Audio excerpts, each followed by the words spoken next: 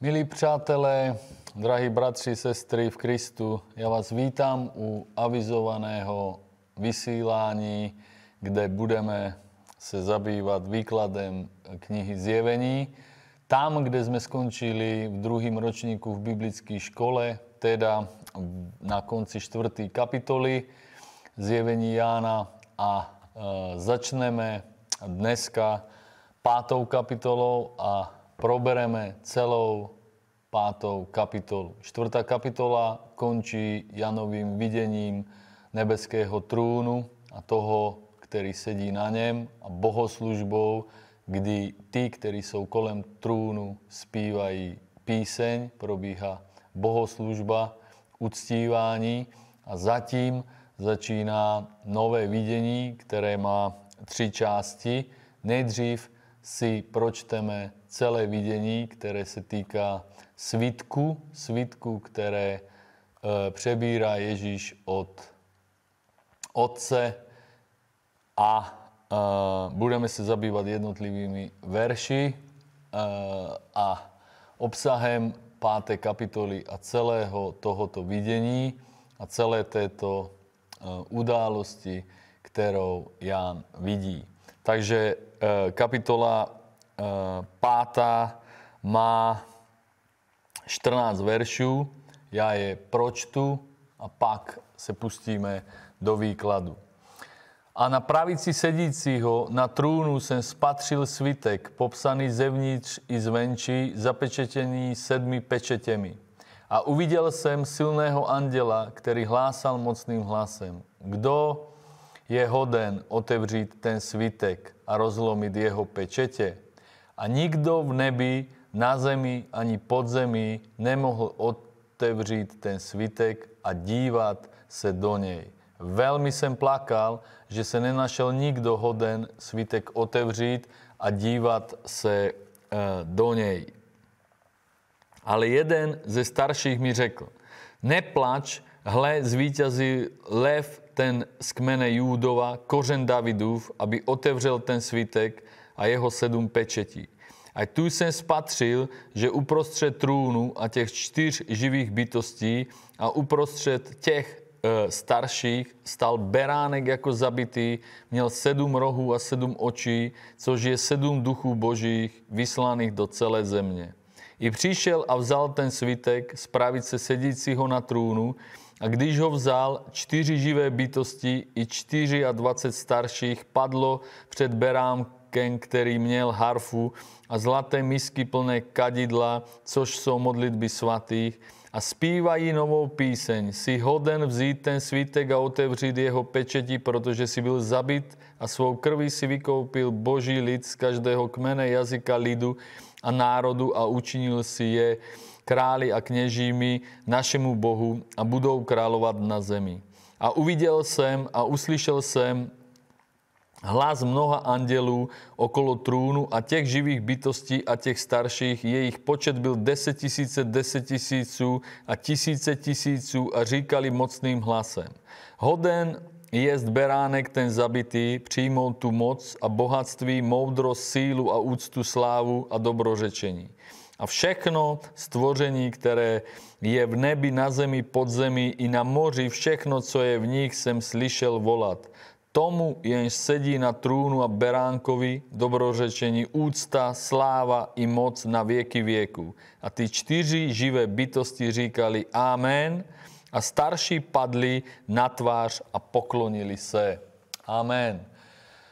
Toto je zaznamenaná událosť, ktorou vidí Ján v nebesích. Předtím, jak se pustíme do výkladu, by som chce, chtěl uh, poznamenat, že odvolání se na místa z Bible, eh, eh, na které se budu odvolávat, nebudeme je číst, eh, jenom si řekneme přibližně, kde jsou.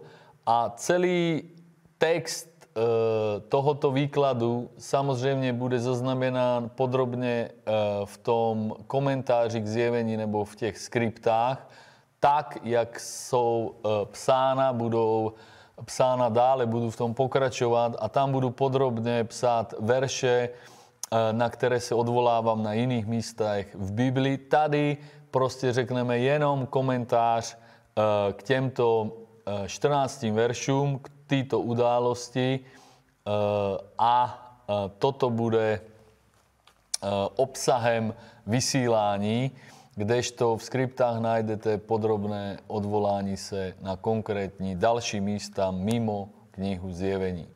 Takže vidění, které Ján má potom, jak popíše trůn, na kterém uh, sedí uh, všemohoucí Bůh, Otec, tak se skládá ze uh, třech částí.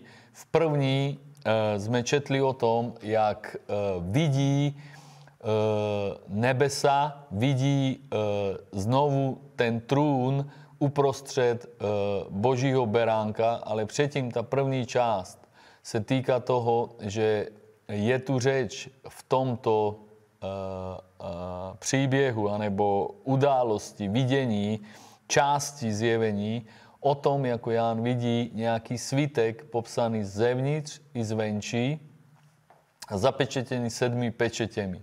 Co se týče sedmi pečetí a toho vidění o těch pečetích, tak jak je všechny vidí na tom svitku, takže představte si srolovaný svitek a na něm sedm pečetí, tak eh, dnes a v tomto vidění se budeme zabývat svitkem jako takovým a eh, to, že Jan vidí pečetě, tak v šesté kapitole eh, jsou ty pečetě beránkem božím, synem božím, Ježíšem zlamovány a v tom zlomení těch pečetí Jan něco vidí a to bude výklad nasledujících vysílání. Teď se zaměříme na tu událost a na ten svítek. Takže když vidí tenhle ten svítek, který drží otec ve své právici a uprostřed e, samozřejmě e, vidí e, stojícího božího beránka Ježíše Krista, tak předtím, jak popisuje toto vidění, tak se ptá Jana, tak jak čteme, Eh, jeden anděl, uviděl jsem silného eh, anděla, který se v nebi zeptal, kdo je hoden otevřít tento svitek a rozlomit jeho pečetě. A Ján konstatuje, že atmosféra v nebi na tuto otázku je taková, že není nikdo, kdo by otevřel, kdo by byl hoden vzít ten svitek a otevřít ho. A když Ján toto vidí, tak eh, velmi pláče. Je to ten Jan, který eh, s Ježíšem eh, byl od počátku, tak jak učedníci začali nasledovat Ježíše, byl s Ježíšem u všech těch zjevení po zmrtvých stání, byl pod křížem, byl na ostrove Patmos a celý život mu sloužil. A když měl toto vidění, tak přesto brečel a neviděl nikoho, kdo by byl hoden. A tehdy se k němu naklonil starší, uh, jeden z těch uh, uh, starších v nebesích a řekl mu, že je tady jeden hoden, kořen Davidův, lev z Judy, beránek boží, uh, ten je hoden převzít ten svítek. Teda nejdřív je popsané to, že je tady nějaký svitek, e, nikdo ho není hoden otevřít u této události v nebesích a pak je poukázáno na beránka e, Božího. V druhé části ho e, Boží syn bere a do své ruky, po čem bude následovat jeho otevírání a ve třetí části, tak jak ho veme z pravici Boží, tak nasleduje nová píseň, zpěv a vidění se věnuje obsahu ty písně, obsahu e, té chvály. Takže v té první části e, e, je příprava na to převzetí toho zvítku. Oč se jedná? Co je to za událost na tomto místě? Víme, že Eh, Ježíš byl vzat do nebe, vystoupal na nebesa 10 dní poté, a, a, pardon, 10 dní předtím, jak byly letnice a jak seslal svatého ducha. Byl to Ježíš, který prorokoval u poslední večeře, že pošle utěšitele a že je užitečné, aby odešel.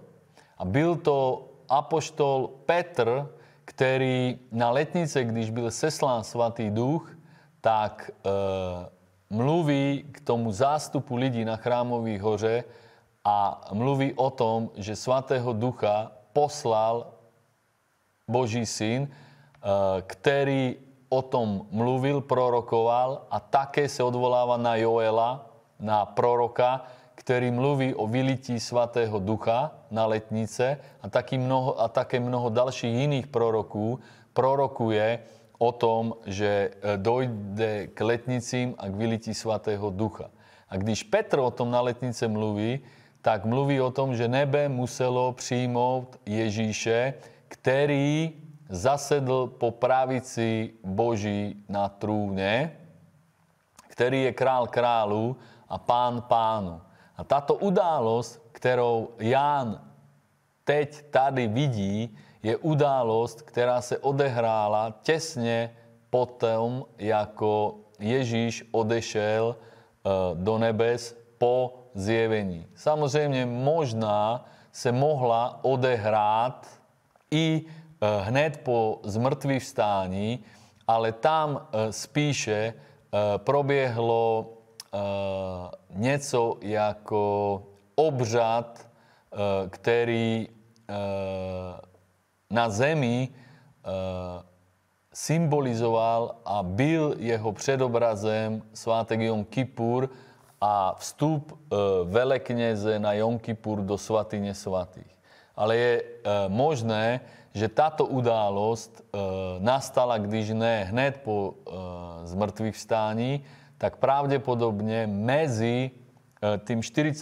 dnem, e, e, kdy Ježíš odešel do nebes a 50. dnem, kdy byl vylitý Svatý duch. A jedná sa o obřad, na ktorý ukazuje práve převzetí toho svitku a povaha toho zvitku. Svitek popsaný z obou strán ktorý e, probíra niekto, kto je toho hoden, kto je na to určen. E, víme, že v histórii takhle probíhal obřad iniciační, inaugurační, kdy byl ustanoven do funkce krále e, nastupující král a probíral tenhle ten, tenhle ten svitek od leního pána, to znamená od vyššího krále, od vyšší autority. Většinou každý král měl e, nad sebou nejakého vyššího krále, ktorý kráľoval buď väčšímu území a tenhle ten král jeho části, anebo pán, anebo to bylo tak, že e, e, dostával autoritu a kráľovství od císaře římského anebo od e, krále celkové celé říše. Například, když byl Nabukadnezer pánem a králem králů, teda králem všech vládců v celé babylonské říši. Takže pokud v nejaké té části říše bylo nejaké kráľovství a v tomto kráľovství došlo k zmene, e, zmene krále, tak ten nový král od toho krále kráľů, od té autority celé říše, e, e, e, e, přebíral ten svitek a to byla listina, v které bylo zaznamenáno všechno ohledne povinností a všechno ohledne právomoci nastupujúciho krále a byl to dekret uh, ustanovujúci uh, uh, spis, listina, ktorá uh, inaugurovala, oprávňovala a potvrdzovala nového krále. Takhle to bylo v Eh, histórii eh, na Blízkém východe anebo v tehdejším eh, sviete, kde vládli králové, takhle to bylo i v Izraeli, jen v Izraeli byl ten rozdíl, že když byl inaugurován, instalován do funkce král, tak nečetl nějakou listinu, pokud Izrael tehdy už nebyl podřízen uh, nějaké vyšší moci říši, jako například římskému císařství, tak tehdy takovýto dokument například uh, ustanovil do funkce krále uh, Judska, judské provincie v rámci římské říše Heroda Velkého. Ale předtím, kdy byl Izrael samostatný, tak takovýto iniciační obřad probíhal pomazáním krále olejem a on, tento izraelský král, četl smlouvu s Bohem, protože to léno, to území, nad kterým vládl izraelský král, kanánská země, Izrael, země zaslíbená, dostával od nadřízeného pána, od e, Boha, kterému to území patřilo. Proto četl smlouvu mezi tímto e, e, nastupujícím králem a lenním prá, e, pánem, který byl pro Izrael Bůh, kterého eh, eh, Izrael ctil a kterého věřil. A toto můžeme vidět například i když Mojžíš sestoupil z vrchu Sinaj, tak tehdy nesl ne svítek, ale no, nesl desky popsané z obou stran, na kterých byl zákon, smlouva, kniha smlouvy, v které byl popsán vztah mezi Bohem a izraelským lidem, který byl uh, léním pánem uh, uh, uh, Izraele a izraelský lid byl lidem králů nebo kněží. A takhle je zadefinoval uh, Bůh skrze vedení Mojžíšem a když donesl těch deset Eh, eh, božích přikázání Mojžíš ze Sinaje, tak to četl a vykládal všechno, co mu Bůh nařídil na hoře Sinaj pod Sinajem. Toto čteme v knize Exodu v 19. 20. kapitole a toto se taky vztahuje na 40. kapitolu exodu, kde je řeč zase o svatyní svatých, k tomu se ještě dostaneme. A právě na letnice židé liturgicky čtou 19. Eh, 20. kapitolu exodu, to, když se naplnila anebo vešla v platnost smlouva mezi Bohem a Izraelem, kterou známe pod deseti božími přikázaními na deskách, které Mojžíš eh, donesl. Velice táto událost připomíná to, co se odehrálo v nebi, povaha toho obřadu. A když Ježíš se zjevoval učedníkům po zmrtvých stání, tak se e, dočítáme, že e, jim vykládal písma od Mojžíše, až po Jána Křtitele, eh, kde všude je mluveno o něm a eh, vyučoval je o Božím království.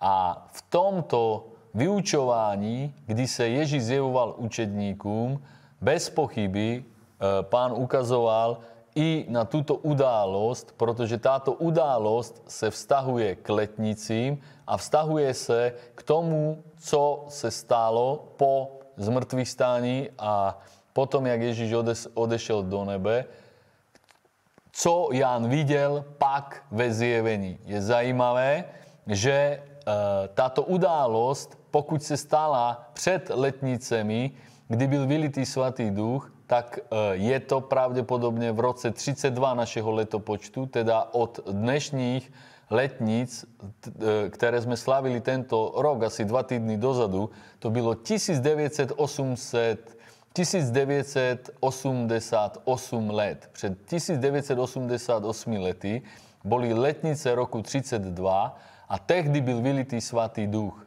A uh, tehdy už měli za sebou učedníci vyučování o Božím kráľovství, kdy im Ježiš otevíral písma po zmrtvých vstání. A až za dalších 60 a možno více let Ján měl vidění zpětně toho, co se dělo, když byl Ježíš po odchodu ze země instalován, inaugurován v tomto obřadu do úřadu pána pánu a krále králu, kdy byl hoden nahlédnout, převzít ten zvítek a začala jeho vláda, tá vláda, o které řekl, že daná mi je veškerá moc na nebi na zemi, když odcházel do nebe. Takže byla mu dána kvůli jeho dílu, kvůli jeho oběti, kvůli tomu, že se obětoval. Ježíš stal z mrtvých, připravil na to učedníky na zemi, v nebesích, nebese se připravila, aby ho přijala po pravici Boží.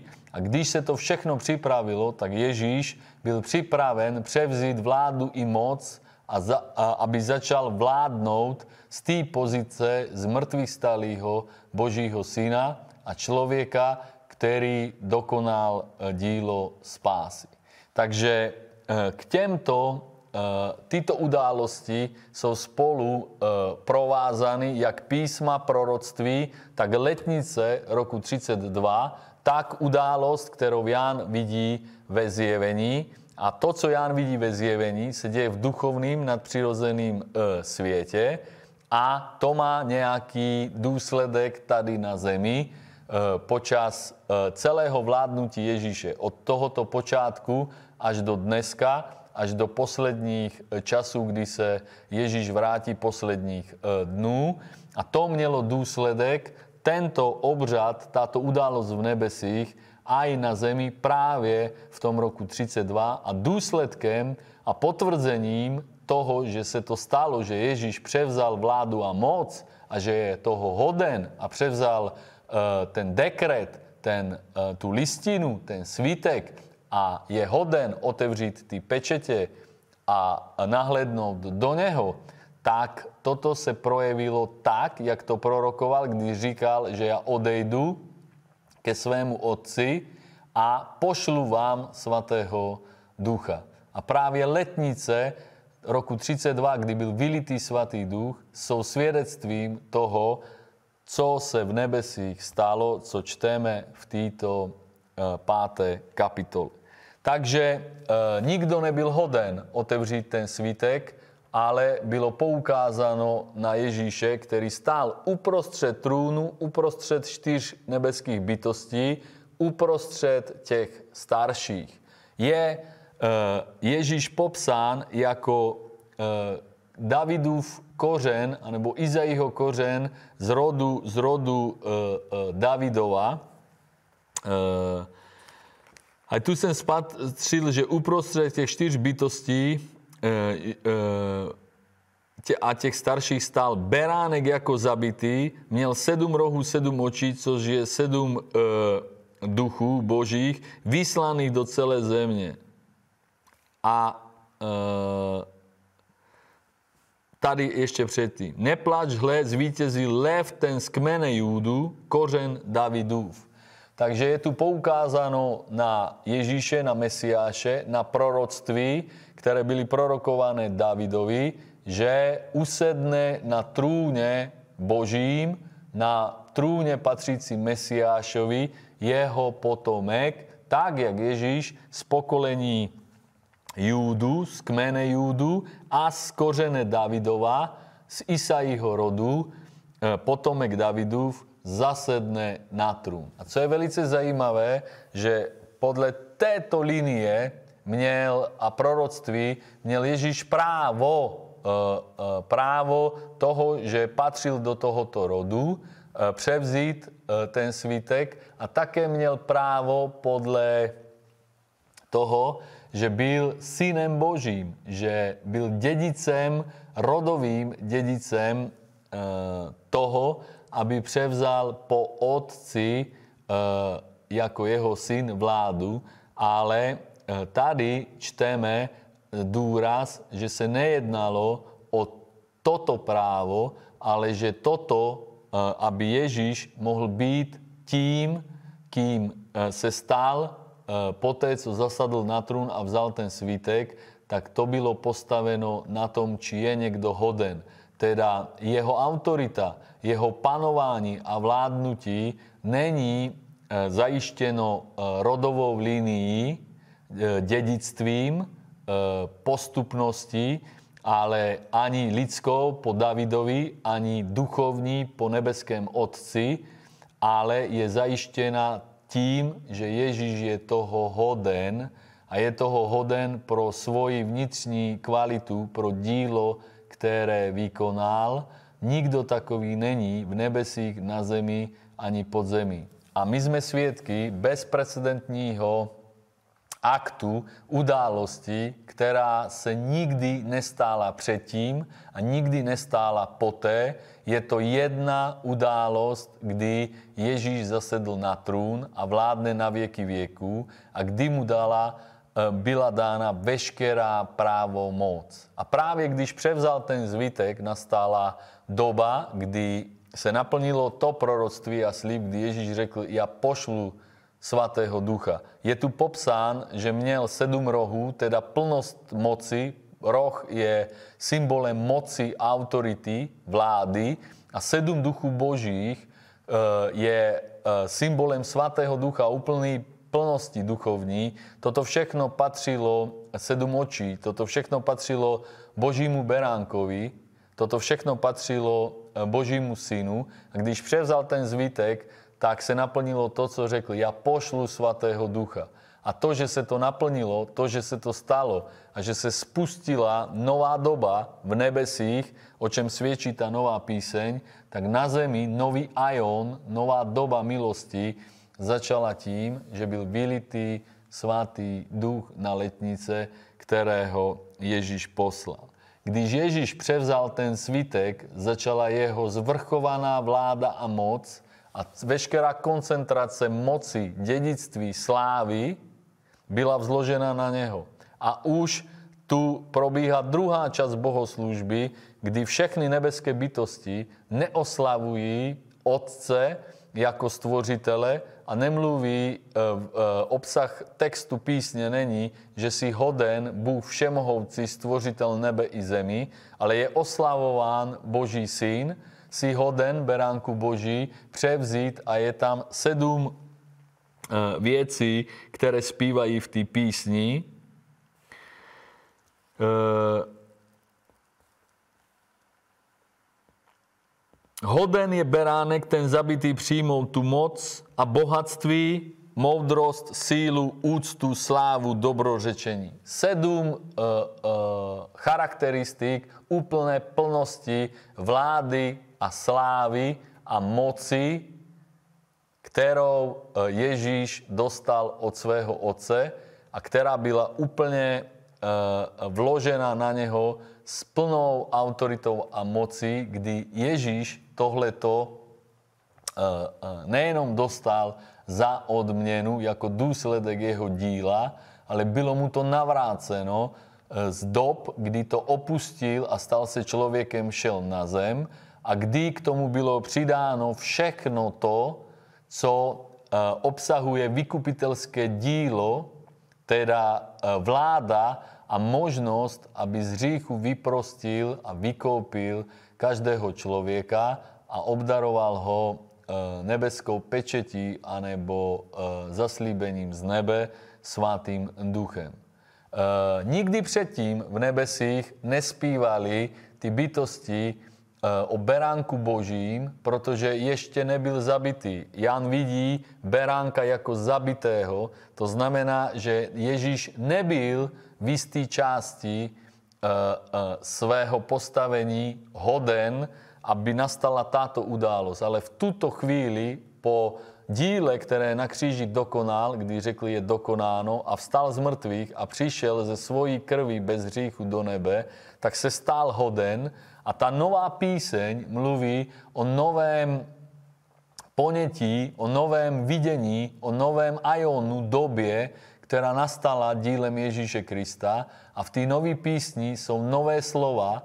Nová, nová písem vždy ukazuje na něco nového, co doposud nebylo a obsah je, že Ježíš je hoden převzít úplně všechno a když to zpívají, tak bytosti ze země, z podzemí, z moří a e, také z duchovného světa toto zpívají a říkají tomu, jenž sedí na trúnu a beránkovi dobrořečení, úcta, sláva i moc na věky věků. To znamená, že to, co se z duchovního světa, z této nebeské bohoslužby ozývá do celého stvořenství, tak stvořenství zpátky opačne, jakoby odzadu, z druhé strany, z toho viditelného stvořeného světa, uctívá tým samým spôsobem Božího e, beránka. A toto a, a, štyri bytosti na to říkají Amen a starší padli na svůj tvář a poklonili sa. Takhle je ukázaná nebeská e, bohoslužba, inaugurace, iniciace e, vlády Božího Syna nad celým stvořenstvím. Znovu opakuji, táto událosť je bezprecedentní. Toto je jedna jednorázová bohoslužba nebeská, ktorá probiehla, kdy byl jednou provždy do úřadu pána pánu a krále králu e, s titulem a postavením, jaké nikdy předtím nikdo neměl a nikdy nikdo mít nebude. Jedině Boží syn, který je hoden úplně veškeré Boží úcty, slávy a moci. A otec je ten, který před celým stvořenstvím túto vládu zvrchovanou Ježiši dáva do jeho právomoci tak, že postavení, ktoré Boží syn od této chvíle má, je e, absolútne zvrchované, takové, že větší nemôže byť. Nebyla slavnejší bohoslužba nikdy v duchovném světě, nebyla větší událosť nikdy, jako e, byla tahleta. A když Ježíš převzal ten svitek a potom, jak e, ty starší uh, se klanějí a uticha táto bohoslužba, tak uh, se začnou odvíjet dejiny uh, na zemi pod vládou Ježíše Krista. A to uh, vidíme uh, tak, že jsou popisovány zase události v duchovním světě, kdy Ježíš láme pečete a v materiálním stvoření, stvořeném světě, v dejinách lidství, E, sú popisované události, ktoré souvisí a sú dôsledkami toho otevírání těch pečetí, čím se budeme zabývat e, v dalších e. A když táto bohoslužba probiehla a táto autorita byla dána Ježíši, tak vidíme, že Ježíš neudelal to, že by poprosil Otce o Svatého Ducha, anebo že by žádal o Svatého Ducha, anebo se takhle obrátil na Svatého Ducha, na zemi prosil Otce a žádal, ale tady v tento moment se naplnilo to, co prorokoval. Já ho pošlu. Teda on se obratil na Svatého Ducha a poslal Svatého Ducha do Jeruzalema, do tých horných místností, kde bylo zhromaždeno 120 e, učedníků. A tu začala histórie církvy, tu počala, e, byla počata církev a tu bylo spečeteno založení Božího kráľovství a Božího díla církvy na zemi s príchodem zaslíbení, naplnením zaslíbení, e, e, přijetí, poslání Svatého Ducha. Toto všechno Ježíš vykládal.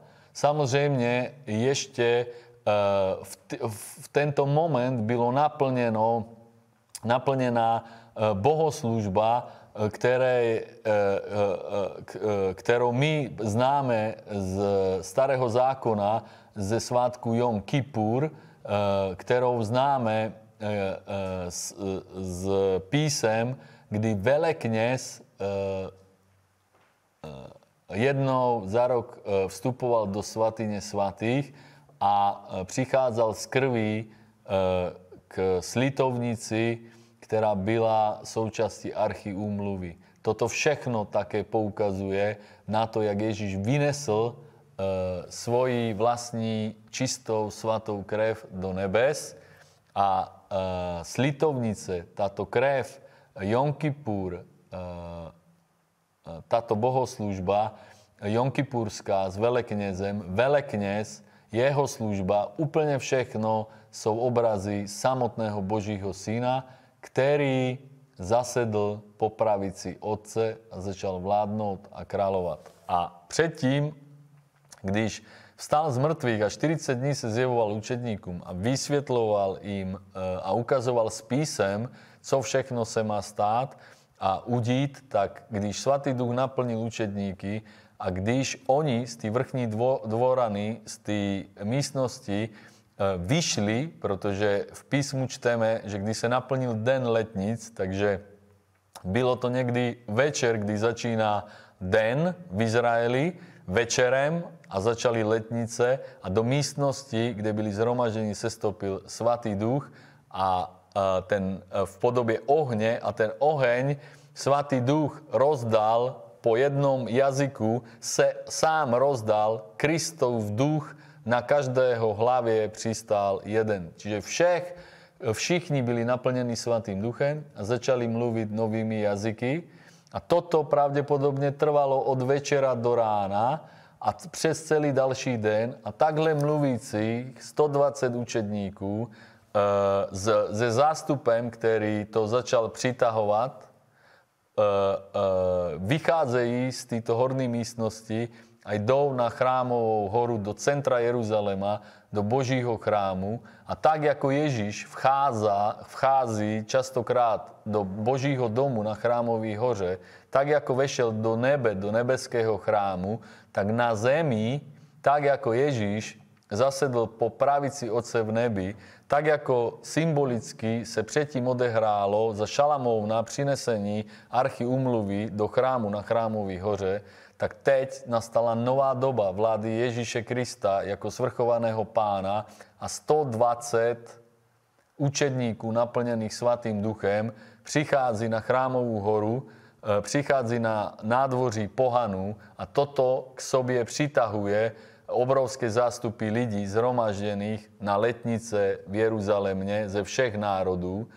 Slyší je mluvit v nových jazycích a v tom, jak oni mluví v jazycích, každý z těch národů slyší a rozumí ve svý řeči tomu, co říkají a vědí, že e, mluví velké boží věci, jsou zasaženi do srdce a jsou otevření pochopit a přijmout to, co Ježíš pro lidstvo vykonal. Někteří jsou předtím uzavření a zatvrzeli a tyto si myslí, že to, že jsou naplněni učedníci svatým duchem, že jsou pod vlivem moci svatého ducha mluví v jazycích, tak se jim to nejvíc podobá na opilého člověka. A Petr říká, že jenom 9 hodin dne, to znamená, že právě bylo kolem 15. Eh, hodiny odpoledne, kdy od večera a vylití svatého ducha na 120 e, učedníků na letnice do druhého dne, do 15. hodiny odpoledne na chrámový hoře už stovky a tisíce lidí přihlížejí tomu, jak se církev stala veřejnou, jak se církev dostala do centra e, dění v Jeruzalémě, a jak svědectví o vládě Ježíše Krista a o založení církve a o spečetení základu e, založení e, božího díla, duchovného božího domu se e, dotvrdilo, zjevilo na chrámový hoře. A když e, začne vykládat písma a proroky, Petr, který je obeznámen od Ježíše z jeho vyučování a který přijal svatého ducha, který ho vede, jak ostatných 11 e, e, učedníků, e, apoštolu spolu s Petrem, tak další, dohromady 120 na chrámovú horu, tak se postavil Petr a začal vyučovat, intenzívne vyučovanie. Písmo zaznamenáva jeho řeč, ale říká, že si Petr postavi, se postavil, aby začal mluvit slovo s jedenáctimi. Takže tým stovkám a tisícům lidí svědčilo a vykládalo to, co se událo všech 12 apoštolů plus tých ďalších do těch 120 naplnených Svatým duchem a víme, že kolik tisíc lidí se hned v tom prvním kázání Evangelia pod moci Svatého Ducha na chrámový hoře na Letnice připojilo lidí k církvi. A v té řeči, kterou Petr tehdy řekl, tak tam uh, cituje, že si Bůh, že si uh, Ježíš uh, uh, uh, uh, umínil učinit z nich, a teď už ne tak jako za Mojžíše, z izraelského národa, e, královské kněžství, národ králu a kněží, ale tady, e, a to můžeme pročíst ze skutku, Petr cituje, že, že e, Petr říká, že muselo nebe přijmout Ježíše, který zasedl po pravici Otce a v té 5. kapitole zjevení čteme to, co je e, velice důležité a zajímavé zjevení, které nám může e, pomoci e, porozumět ty důležitosti. A zpívají novou píseň, si hodem vzít ten svítek, otevřít jeho pečeti, protože si byl zabit a svou krví si vykoupil Bohu lid z každého kmene, jazyka, lidu a národa a učinil si je králi a kněžími našemu Bohu a budou královat na zemi. Teda tady pro krev, kterou Ježíš vylil, tak si Bůh učinil nejenom z izraelského národa, ale ze všech národů, jazyků, kmenů, eh, lidí, které povolává, vykupující krvi Ježíše Krista, si je učinil králmi a kněžími. To znamená, už není jenom izraelský národ kněžským národem, e, který e, slouží Bohu duchovně jako sprostředkovatel Božího díla, Boží vůle a milosti mezi Bohem a národy, ale jsou to lidé ze všech národů, kmenů a jazyků, který tím, že Ježíš vykoupil svoji vlastní krví a že přijali svatého ducha, tak si je samotný Ježíš. Tebe i mne, pokud si v Neho uvěřil a přijal Svatého Ducha, učinil Jeho králmi a Jeho kněžími, eh, který slouží Jemu, v té samé eh, věci, jak, v jaké slouží On jako velekněz a v jaké sloužil tady na zemi. On nás učinil králmi a kněžími Božího království. Tady na zemi budeme královat. Toto uh, uh, zpívali, toto je tá nová píseň, toto je tá nová doba, že lidé od uh, vylití Svatého Ducha na letnice môžu nejenom byť spasení, přijmout Ježiše ako pána spasitele, ale môžu na zemi kráľovať a sloužiť Bohu a nemusí to byť jenom ne, židé a levité, ale môže to byť jakýkoliv človek z jakéhokoliv národa, kmene a jazyka, ktorý uvěří právě tomuto, co teď sdílíme, že je to pravda, že se to stalo, že Ježíš je pán pánu a král králu, že sedí po pravici Otce v nebesích na vieky a že od tohoto momentu, ktorý tady je zaznamenán v 5. kapitole zjevení, nastala doba církve, doba milosti, ktorá trvá už téměř 2000 let, v které Ježíš vládne, v které jsou z pohledu a výkladu historicky kontinuálního lámaný pečeti a mnohé tyto události se už stali a zároveň paralelne samozrejme toto zjevení pokrýva a lámaní pečeti aj tí úplne poslední události, či už to sedmileté údobí, anebo e, konec lidských dejín, konec posledních časů.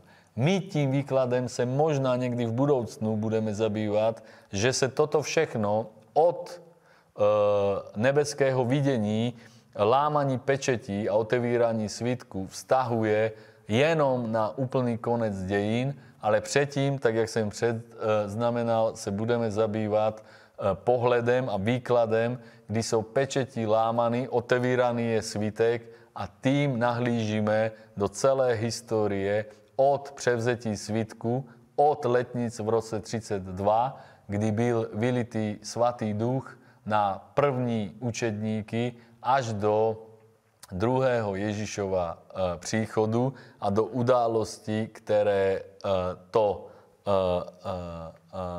popisují v zjevení a potom jsou tam samozřejmě události až za do tisíciletého království a dokonce až za tisícileté království. Toto je někde vzadu zjevení a u konca výkladu knihy zjevení, včetně toho výkladu, který se vztahuje na to poslední údobí a my jsme někde v začátku a z historického kontextu se budeme zabývat dalšími zjeveními, které jsou v šesté a v dalších kapitolách a začínají zlomením té první pečeti. Takže dneska jsme se dívali na svítek, řekli jsme si, o čem ten svítek je, při jaký příležitosti ho Ježíš veme, a, a, přebírá do své ruky a tým svítkem a pečetěmi na něm se budeme zabývat v dalších vysíláních,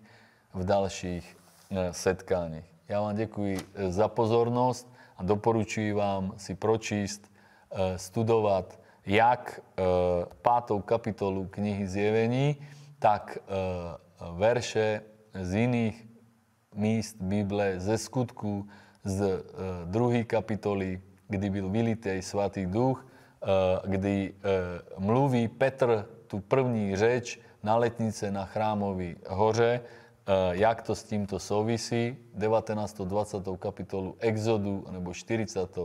kapitolu Exodu. To jsou všechno místa, které mluví o této události, kterou jsme se dneska zabývali, iniciací, vstupem do věčné vlády, neomezené vlády na nebi, na zemi, v podzemí a v celém stvořenství vlády Božího Syna, Ježíše Nazareckého, který vstal z mrtvých a vykoupil si svůj lid ze všech jazyků, národů, ze všech kmenů, vykoupil si nás, kteří jsme v něho uvěřili a vykoupil si ty, které v něho uvěří a přijmou svatého ducha. To přejí tobě, pokud se to ještě nestalo v tvém životě a pozývám tě studovat s námi knihu Zjevení dále. Děkuji ti za a, tvůj zájem a vám všem, kteří e, už aj v minulosti jste sledovali naše bohoslužby nebo vysílání. Vám děkuji za pozornost a sejdeme se o týden a budeme se už zabývat první a druhou pečetí, které rozlamuje Ježíš na svítku, o kterém jsme dnes mluvili. Šalom.